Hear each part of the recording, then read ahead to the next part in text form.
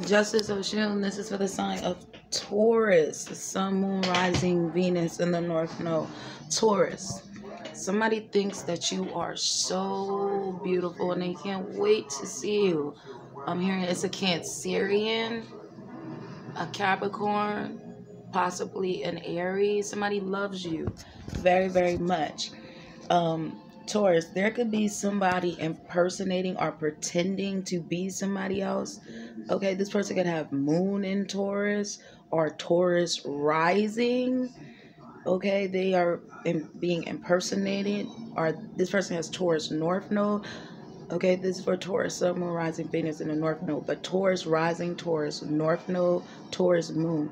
Somebody is impersonating someone Okay, it's like somebody is trying to come towards you and make you an offer, okay, or give you a deal before somebody else. But it's like this person's gonna come and offer you ten thousand dollars, and the, the person that they were trying to beat to you, that person's gonna turn around and offer you a hundred thousand dollars. Do you understand what I'm saying? Somebody is only doing this to beat somebody else to the punch. It's like somebody is only proposing to you just so they can get fame and status and clout off your name. Like somebody is somebody is not trying to be with you for the right reasons. Somebody is not a good person. Like this person, yeah, this person might bought, bought you like little me- mediocre gifts, you know, break you off a little chump change to get your hair and your nails done. It's like this person is secretly in debt, okay?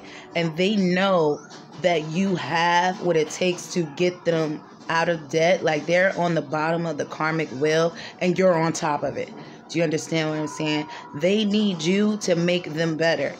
Do you understand? This could be a Scorpio. This is definitely a Scorpio, your opposite Taurus. Somebody is like literally trying to use you just for your money. This person is trash. Do you understand what I'm saying, Taurus? Do not forget to take the trash out. Do you understand what I'm saying? Because this person thought they were going to come towards you and offer you something just so you can make them famous, just so they can come up off of you, just so they can get clout and fame because they want the attention that you're getting. Okay, this could also be a gay man. This is somebody you dated. They didn't know that you knew they were homosexual.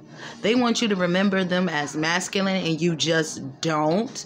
Okay, this person could have, I'm hearing gold teeth in their mouth. Somebody has a grill okay? Somebody wears glasses, okay? Somebody could be bald, okay? I'm hearing somebody is in their 50s, okay? And they're they're attracted to younger women. Taurus, you should definitely go and watch and listen to Scorpio's reading Taurus.